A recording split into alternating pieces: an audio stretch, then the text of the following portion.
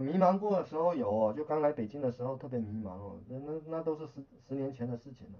年轻的时候大家都会迷，但是实际上呢，只要你随便找到一个妹子来一发之后，就再也不迷茫了。嗯、很多人迷茫啊，都是因为没有找到女朋友，找到找到女朋友之后啊，她天天跟你叨逼，每天跟你叨逼几句话，你就烦的都受不了，你就根本没有时间迷茫，赶紧找个女朋友就不迷茫了。所以不要给自己的人生啊迷茫找找那么多的高大上的借口。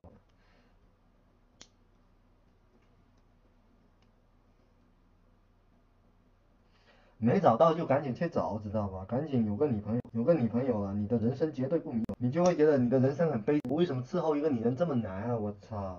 然后你觉得人生啊充满了悲剧，知道吧？你们现在主要是太把自己太当回事了啊。